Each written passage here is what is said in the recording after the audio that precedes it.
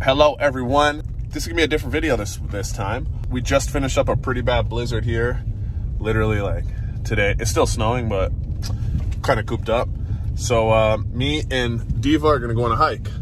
So figured we'll bring you guys along with us. So one of the reasons why I, figured I would film this and bring you guys along for this trip is because we do a lot of our videos focused on, you know, dogs working and, and what the workability is and, and, training exercises. And I don't think me uh, and a lot of trainers touch on how important it is to not just work, right? Like we need, we need work, um, you know, but all work and no play uh, isn't for a good time. Uh, and, and I think that it also really helps with, you know, bonding and building bonds with your dog. I mean, your dog bonding with you is getting out and doing things that aren't so strenuous. There's, there's not this big criteria that they need to meet. My criteria for a hike is, hey, stay in sight. When I, when I call, come and hang out, come check back in with me. Uh, but other than that, go have fun. And if the dog's not ready to be off leash, we'll, I'll do a hike on a long line. We'll have a long line out and we just go walk around. They get to be a dog, and I get to just enjoy my dog. I think a lot of times with our, you know, the, the working dog folk, and even some of our pet folk, you know, when we get focused so much on what the next task is, we forget to just appreciate and enjoy our dogs. Um, and, and we're missing a, a, key component, I think, in actually getting your dog to work even better for you. Um, is you want to have a good relationship. Diva is a pretty unique dog in that she really doesn't care too too much about me.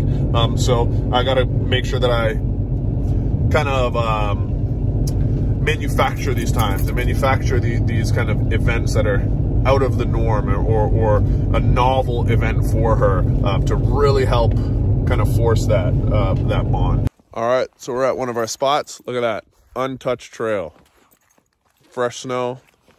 I'm gonna go break some ground with Diva.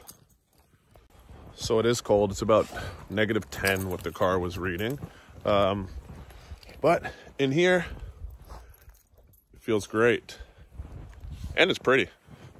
Um, so also one of the things that i do um, whenever i come out diva's an older dog but i still i got a pocket full of food on me. As you can see she's pretty into it. Um, so i always you know I, I, even while we're out although there's not a lot of um, rules to our hike at the moment uh, whenever I see things that I do like and I appreciate behaviors of her doing, I still make sure I pay for them. Not again, not super formal, but she gets paid for a job well done.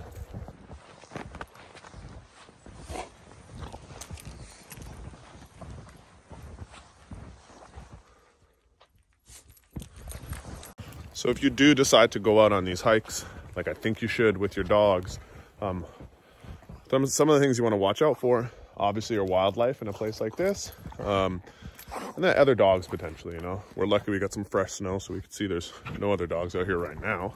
Um, but it's why it's important to have a super reliable recall um, and a way to reinforce that recall. Oh, missed it. The other tip that I would give you if you're going somewhere remote, uh, let someone know where you're at. Uh, you know, we don't want to be out walking our dogs and then we got to send uh, some search and rescue people for you. So let people know where you're at. If you got an iPhone, share your location with someone you trust. Um, but have fun. If you notice, Diva always kind of looks back and checks in to see what's going on with me, which in this context is totally fine and actually preferable. So we're here, just kind of enjoying the walk. Diva's trying to do crazy stuff. So one of the things I'll be aware of is those are tracks up there.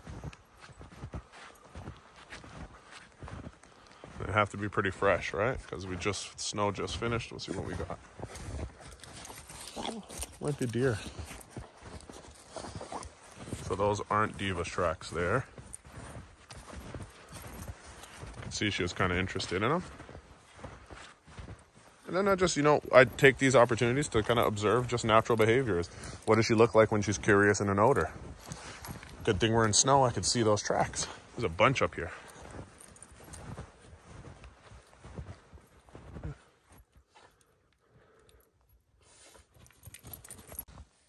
Someone's got some time to potty too. Surprisingly, she left him by all these tracks. Then I just get curious. Hey, does she have to potty for real or she's trying to send a message? That's pretty cool. Oh, oh, and it was. So the other thing that's important to have, I like to use during these um, kind of hikes, uh, is just my informal recall. So that doesn't mean, hey, get and sit and stare at me. Just get over here.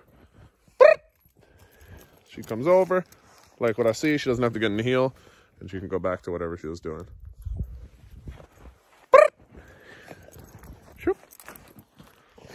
All right, guys, short video.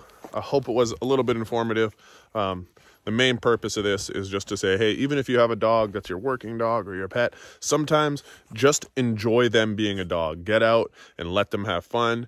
Uh, you have some fun with them. Diva's off smelling something. Um, but we're going to kind of wrap it here. Uh, hope you guys enjoy. Let me know in the comments below if you want to see a video on something particular next or, or what particularly you'd like to see a video on. Peace out.